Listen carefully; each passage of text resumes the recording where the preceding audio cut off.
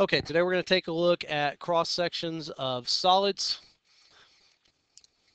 Okay, you probably need to write at least this part down. Uh, cross sections deal with taking uh, solids, uh, my grammar's bad there. Okay, taking a solid, cutting it into two pieces, and examining the shape of the surface that was created by the cut. Now, while you're scribbling that down and thinking about it, it would it seems like a reasonable thing to assume that when you cut a solid open, what you'll end up with is a shape that is either identical or very close to identical to one of the faces of the solid that you just cut. Unfortunately, that's not necessarily true as long as we cut a solid open, as long as we cross-sect it parallel to one of the sides, a lot of times we do end up with a shape that is either congruent or similar to the side that it's parallel to. But what you're going to see and where you're going to where the problems are going to arise is when we cut through a solid in a manner that's not parallel to one of the sides. What you're going to see is we we end up generating all kinds of strange shapes and it is those strange shapes that that have me concerned about the way that they might ask these questions. Okay but anyway here's kind of step by step of of what you would be looking at on just any cross section.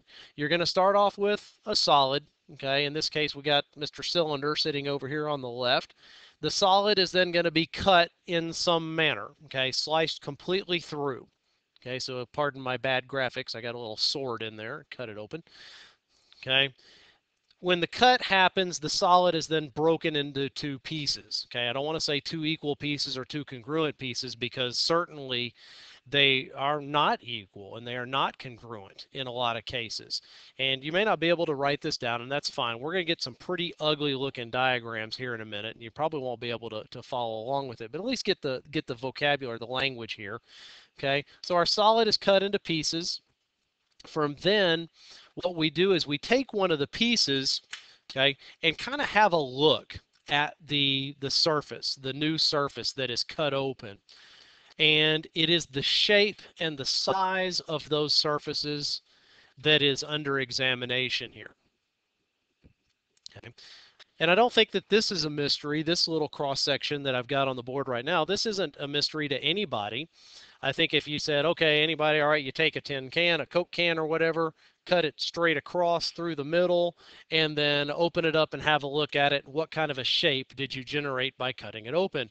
Well, I think everybody here would know, oh, it's a circle. Okay, that's that's not a big mystery. Okay, the the mystery starts to arise, the questions start to arise, and the troubles start to show up when we don't cut something straight across or straight through or something like that. For example, the exact same cylinder, the exact same Coke can, if that's the way you want to think of it, if you were to cut it across the middle, but not parallel to the base, well, we don't end up with a circular cut anymore. Okay, we end up with an oval-shaped cup and uh, cut, and if you're not familiar with the the correct term for oval, it is ellipse, and you'll spend more time working with ellipses uh, when you get into algebra 2 okay? but I think you can probably see, I mean, on that Coke can, as long as you cut it straight across, you end up with a nice circular uh, cross section. But when you take that Coke can and cut through it at an angle, well, you still have that, like on this diagram, you still have that front to back measurement that's still the same. Okay, it's the diameter of the base and the diameter of this bottom cross section is still the exact same. But what about this cut that was from the left side to the right side? Well, when the cut got a little diagonal on us, it took a longer cut to get through the solid, to get all the way through it, because we didn't just get, get straight across it. It was it had the the knife had to travel a longer way through it, and that caused that circular cut to expand in one of its one of its axes, one of its directions, however you want to put it. And that's how come the cut is no longer circular. It's more elliptical than it was. Okay. But what you're going to see and what the challenge of the lesson today is, there's a lot of different ways this thing could be cut. And since there's so many different ways the thing could be cut, what kind of shapes are are possible. Okay. Well, can anybody think of another way to cut this cylinder other than like we just did, straight across it, straight through it, or at an angle? Okay. What happens if we went straight down through it? Okay. Yeah. What kind of a shape would you generate on a cross section of that if you cut the Coke can straight down the middle? Yeah, you'd end up with a rectangle in that particular case, just by the nature of the way that the thing is cut. Okay, but if your imagination's not starting to run away with you yet, start letting it a little bit. Imagine what would happen if you didn't cut the thing all the way through like in these these two previous cases, we went straight through the lateral face. Okay, on the second case, we went through the lateral face, started in the lateral face, came out of the lateral face, did it at an angle, but still started at the lateral face, came out of the lateral face. What happens if you were to cut through it on some type of a line like that where the, the, the slice actually begins in a lateral face but exits through a base instead. Okay, well what, what on earth would the cut look like then? Well, what you got to think about is, well, let's see what would actually happen. Now, obviously, if we cut through, when we get down to the base, it would cut out of both sides of the base, right? And connecting those two locations would be a straight line. So what would the cross section look like at the bottom? Well, we'd have a straight line. What would the top edge of the cut look like? Yeah, we'd have a curve, wouldn't we? Because as it enters in the, the top part of this lateral face, okay, it begins in one spot, but then the cut travels both directions around the lateral face on its way down the side. So while it starts in one spot, those two spots spread apart, travel around the outside. So you end up with kind of a cut that travels one way to get to one side, goes the other direction, coming down to the other side, and you end up with a shape that does kind of like that. And like Josue said, it's curved. Does anybody know the right term for that? It's an algebra one term. Okay. Parabola. Okay, you end up with something very similar to a parabola on the other end. And I mean, if you get it's it's infinite. I mean, there's so many different ways that this thing can come out. But I think what we're going to be ultimately looking at or the things that end of course might test us on is what type of shapes are possible not necessarily hey diagram the the cut. What's it going to look like? Draw it. They're not going to do that but they may say okay if we take a cylinder and we start doing cross sections on the cylinder which one of the four answer choices that we provide is not a possible cross section Okay, so they may say, you know, you might have, okay, well, we got a, a circle might be an answer choice, ellipse might be an answer choice, uh, parabola, you know, might be an answer choice, rectangle might be an answer choice, but maybe they got triangle, you know, mixed in there. And you get to thinking about, okay, what are all the different ways and directions we can cut through a, a cylinder, and can I actually cause a triangle to come out of that? Well, maybe you can, maybe you can't. But that's, I think, those are the kind of questions that we're going to be looking at or be faced with when it comes down to end of course. And of course, the more simplistic that the, the shapes are, you would think that the, the cross sections would get simpler. Well, what you're going to see is that sometimes the simpler the shape, the worse the cross sections are. But uh, it just kind of depends. It's a case by case basis. Let's take a look at a cone see if we can figure out what we can expect from different cross sections of a cone. Okay. Uh, give me a shape. What what kind of shape could we end up with from a cross section in a cone? Obviously a circle. How do you how would you cut your cone to end up with a circular cross section? Okay. Straight across the middle, something like that. Okay. Now we would still end up with a circle. It would depend on how big the circle is, depends on how close we are up to the vertex or how far we are down to the base okay because obviously the, the circular base just gets smaller and smaller and smaller as it goes up until you end up with the vertex.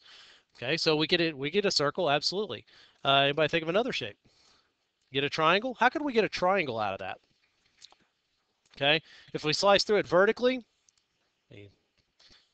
Okay, if we slice through it vertically, yeah, I believe you're absolutely right. If we get, we would get a triangle, even though you can't even really see the triangle. But think about if you if you took a cone, split it exactly in half, open it up, and looked at it. Okay, you'd have the vertex up on top of each of the pieces. Then you'd have the lateral faces or the uh, lateral height coming down each side of it. And then when you look at it from the side, what's the base look like? It's just a flat line. Okay, so it seems like we would end up with a, a nice neat triangle if we split our cone directly down the middle. Okay, what else might we end up with? Say again? An ellipse? Absolutely. We could get an ellipse just like we did with the cylinder, right? Same thing. We can cut across, but if we cut across at an angle, well, again, we're going to get a circle-ish type of a cross section. It's going to be an ellipse. Okay. Uh, what else could you do? What happens if we move that cross section or that uh, that cut that we just made? What happens if we move it to a spot where we come through the base and the lateral face. Okay, end up with another one of those uh, you know, parabola type cross sections. Absolutely. Okay, so this is, like I say, this is kind of the challenge of cross sections is being able to have enough vision, enough imagination to see what all might be possible from chopping a three-dimensional solid up into its pieces. Okay. now, to keep telling you that their their their tendencies are to ask questions about these circular, uh, the, the the solids that have circles like cylinders and cones. Uh, but what you're going to find out is actually the circles and cones are are fairly uncomplicated when it comes down to cross sections, whereas something like the cube is a completely different issue altogether. Okay, cube's a very basic shape, squares on all sides. Seems like it wouldn't be much of a much of a problem. Okay, but let's see if we can figure out what cross sections we might could end up with on a cube. Okay, what what kind of shape could you end up with? Square. Okay, how, how, how do you, okay, we'll come we'll get them all here in a second. Square was the first one I heard. How would you end up with a square? Yeah, straight across pretty much in any direction you choose, right? If you went straight across it or straight down it or straight through it front to back, okay, or vertically straight front to back, we'd end up with squares on all of those cross sections because it's a cube. It's square in all of its directions. Okay, uh, next one I heard was triangle. Where do we get a triangle from? If we cut diagonally, okay, let's think about it. Okay, so if I came over here and I chopped it right through there, but I get a triangle out of it. Now, there is a triangle. Anybody see where it might be? How about this? Let's come back to it here in just a second. Let me get that one out of there. okay, uh, so I heard rectangle. Where would we go through to uh, create a rectangle? Okay, yeah, if we cut through it in a way that um, like we got through the opposing sides, got through the top and the bottom, or the left and the right, or the front and the back, but didn't do it in a way that it was parallel to the edges that the cube has. Well, what we're going to get is we're going to get a square-ish cut, but it's going to be longer in one direction than it is in the other. So we'd end up with a rectangle. And on this cut, what we're talking about is, and I know it gets kind of hard to imagine, but we're talking about going straight back from the position that the uh, position that the the sword is in. Okay, so if we if we cut through the top and the bottom along those two lines, we would end up with a rectangular cross section. Okay, has anybody spotted the triangle yet? Okay, where do you think you could get a triangular cross section?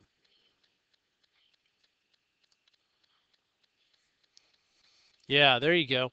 Now see this these guys generated a square and a rectangle because we were going through opposing sides. Left and right both got cut. Top, uh, front and back both got cut. Top and bottom both got cut. Now whether they got cut parallel or not was the difference between a square and a rectangle. But what happens if we come through lateral faces and bases both at the same time? If you were to take that guy and chop that off, it would basically just cut the corner off of it okay? But when you take that corner and look at the cross section, it's going to have three sides as part of it, okay? So you're going to end up with a triangular cross section, absolutely. Uh, there's another one that's in here, and this is where things start to get pretty difficult to spot, okay?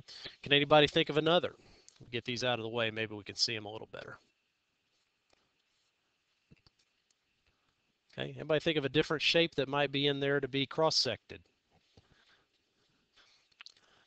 How about this? We ended up with a triangle because we just cut a corner off of it. Okay, well, what if we pulled that same idea more instead of just cutting a corner off? What if we went out into the, the bulk of the cube, kind of cut through the body of it? Okay, but still at an angle and still at such a way that it is hitting both bases and lateral faces at the same time. Okay, think about this one. And on this cut, I'm saying, all right, we're going to cut right there at that front edge and and straight back okay? Not following the angle of the solid like it is you know where we've got this three-dimensional projection where the solid kind of goes up and back to the right. I mean just go straight through okay? Straight through the screen through the wall into the boys restroom. So the back cut is back there on that same line as well. Yeah what would you end up with there yeah you'd end up with a, a very small cut across the front face okay? Then it would travel okay travel backwards along this edge and along this edge okay? So we got this little bitty little bitty line right up front. Then those two blue lines going backwards they kind of they're going to be going away from each other in the figure. And then at the back edge of the cut you're going to get a, a cut that's all the way across that and that's going to be parallel to the front edge so as Josue said we've got a set of sides that are going to be parallel, another set of sides that are not going to be parallel, we end up with a trapezoid. Okay, so here are actually the four different uh, shapes that we just said that we would end up with. So we did a pretty good job of coming up with those. okay. And uh, believe it or not, I mean, as hard as we had to think about it and kind of as many questions that I had to ask to get you to, to come up with them, these are not the hard ones there are to come up with when it comes down to a, a, rectangular prism or a cube. And there's there's actually a whole lot more going on here than meets the eye. Okay, and there's no way I can. I mean, this is the best I could do with this this program and the graphics I have building these these pictures. Okay, but uh, some of this stuff is more complicated than I can possibly diagram in a smartboard lesson. Okay, so what I'm going to do now is I'm going to kind of get away from my lesson. I'm going to take us to a website here. And I want you to follow along with the website. And let's see if we can see what else is going on inside of these cross sections. Okay, so this is the web address I'm going to, and I'll, I'll put that address up on uh, Edmodo for anybody that's interested, and it will take you to this site. Okay, now on this site, okay, it's a cross-section flyer site, but basically it's just an applet. It's an inter interactive window and we can do all kinds of things to the shapes that are in there. Now the shape that we're looking at right there is a double cone okay but that doesn't really mean uh, anything uh, we could there's different shapes you can see down here in this uh, rectangular box down there there's cones cylinders pyramids and prisms okay? And we'll get to that here in a second but for the for the beginning part here let me just show you. This window that has your three-dimensional rendering here this is a completely interactive window. You can grab this shape and you can rotate it around have a look at pretty much anything that you want from pretty much any angle that you want Okay, so there's there's a lot of information that can be seen visually inside of these figures. Now, additionally, down here you've got these slider bars, and as you see, you can move the uh, angle and the direction of the cut. Um, you can slide the cut around uh, the particular figure. You can change the size of the uh, of the shape, and you can move the the slice throughout the uh, throughout the picture. Okay, so there's kind of a basic uh, crash course of what you're seeing here. And did you notice what was happening over here on the, on the right side, this two-dimensional graph? As I move all of the different things, it is showing me a two-dimensional graph of what the cross-section looks like. Okay, so as one graph moves, everything else moves in the uh, and both of them at the same time. Okay, so let's just start here. We started off with a cylinder. Okay, so I'm going to see if I can't reset this mess to something kind of normal. Okay, we started off with a cylinder, and here's pretty much what we did. We took our cylinder and we chopped it pretty much straight through the middle, came straight across the body of the cylinder, and as we expected, we ended up with a nice round cross section. Okay, the next thing we did is we took that cross section and we came across Okay, we came through the figure a little bit, gave it a little bit of an angle coming across the lateral face. And look at what happened to your, your two-dimensional graph over here. Okay, it's not circular anymore; it's elliptical. Okay, and you can tell that by looking at the uh, looking at the different uh, dimensions on the on the uh, the graph, the scale. Okay, and you can continue that on. Now, here's one thing that we did talk about. Okay, we talked about what happens when that slice doesn't just go through the lateral face. What happens when it starts to hit the base? Okay, and you can see there's your straight edge and there's your parabola that goes along with it. But what you're also going to see is you're going to end up with some some some structures that are almost indescribable. Okay, and that's part of the problem with cross sections, especially at a at a low level class like geometry. How do you describe this thing? Okay, parabolas open up. Okay, their legs get wider and wider and wider, and that's what you should have learned in in algebra one. Okay, but that two-dimensional graph that you have there on the right, the, the legs aren't supposed to start to close back up. Okay, parabolas don't do that, which puts us in a little bit of a vocabulary issue. How do we describe that thing? We've got a flat edge, we've got a curve that's parabola-ish, okay, but what exactly is it? And ultimately, we'd kind of end up in a, in a little bit of a tough spot. What do you call that thing? Okay. And honestly, the closest thing that we would be able to call it would be an arc. Okay. I mean, we've dealt with portions of the circumference of a circle before, and we called it an arc. Well, even though this thing is not a circle, it's still a portion of it. So probably the most accurate description we would have would be either a parabola and a straight line or an arc and a straight line. okay. And, you know, we took, we did the vertical Okay, Haley showed uh, told us that we could cut it directly down the middle vertically, and we'd end up with a rectangle. And you can see that, yeah, we do we do have that. Okay, and anyway, you can you know, it's got all kinds of different shapes. Okay, that we can play around with. There's the cone and the uh, pretty much the straight across cross section or straight across cut that we had, and we could tilt that a little bit more, and we'd end up with our ellipse. Okay, we talked about our parabola. If we were able to cut, make the cut through the lateral uh, face as well as the base.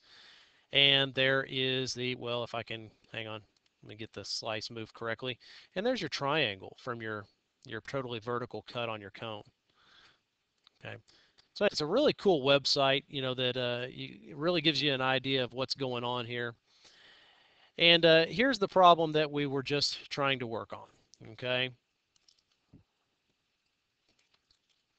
Okay. Here's the cube that we were looking at. There's the first cut we made, that straight across cross section, and it came up with a square. Okay, uh, some people figured out uh, right away that if we, um, actually, if we cut across, you still staying parallel to two of the edges, but come across, we end up with a rectangular cross section. It's very close to being square, but not quite because of the extra distance to make that cut. Okay, here is where we started to end up with some of the some of the the, the deeper problems on this. Okay, we've got a parallelogram inside of there. Okay, but look what happens when we start to um, we start to bump into some of the other structures, some of the other sides. Look at the cross section over here on the right side. What kind of a shape is this? It's a pentagon. There's five sides. We actually took a basically a cube, you know, square on all sides, congruent on all sides, parallel on opposite sides, and actually cross-sected it and managed to make it spit out a pentagon, which seems almost like it would be something that would be impossible to do. And if you continue to do this kind of uh, kind of thing, okay, see, not only your pentagon changes shape, there's the trapezoid that we were talking about. Okay, different pentagons depending on where the uh, the cross section occurs at. But as well, the more extreme that we make this thing, and if I can figure out the right combination, here we go. Nope, still not quite. There is another shape waiting for us, if I can find it. There we go.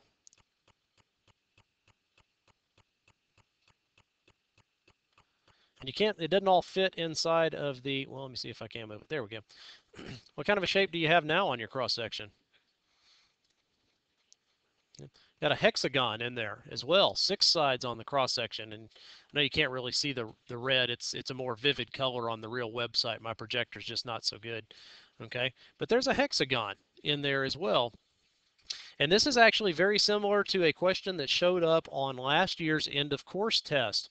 They asked a question about a cross section of a rectangular prism, and then they asked how many shapes or how many different sides were possible on the cross section. And one of the answer choices said like three, four, or five sides. One said four, five, or six sides. One of them said three, four, five, or six sides. And the correct answer was three, four, five, or six sides because you can cross sect a cube. Uh, Okay, there's your triangle, just chopping off the corner. You can get as few as three sides on your cross section and you can get as many as six sides on your cross section. A lot of people missed it because we didn't have any idea what was going on there. Okay, but anyway, uh, like I say, it's got a lot of different shapes. Okay, and you see here's a pentagonal pyramid. It's kind of hard to see on that uh, on the uh, screen up there because the red doesn't show up really very well. Okay, but uh, you see this bottom slider here? It says lateral faces. You can actually change uh, what the shape of the base is. You got a triangular pyramid, rectangular pyramid, pentagonal, hexagonal, heptagonal, octagonal. I mean, you can make the uh, the uh, figure pretty much have as many sides as you want it to. Okay, so anyway, uh, that's kind of the way this thing works. And again, I said it's this is a difficult thing. Some people are really able to envision this thing in their their mind's eye. Some people have a whole lot more trouble, uh, kind of uh, kind of coming up with that mental image on these things, and you're just going to have to deal with that. Okay, it's just unfortunately the way the way we've got it here. Okay, now. I am I don't have a worksheet here for you. Okay, this this slide was supposed to be different. Actually, what I want you to do is I want you to spend a little bit of time working with this website. And there's actually another one that I have as well. I will put the web addresses on Edmodo for you. Uh, but I want you to spend a little bit of time looking at this website and hopefully the other one as well, playing around with that interactive application. I just want you to get a good hands-on idea of what the different uh, cross sections for different shapes might be and there's unfortunately not a whole lot I can do to help you on this. Either you're going to get it or you're not. And uh, I, I, just want you to have a decent idea of what they are. Hopefully, playing around with the website, you'll get a better idea. But that's pretty much what we're going to do on cross section. So please have a look at that website.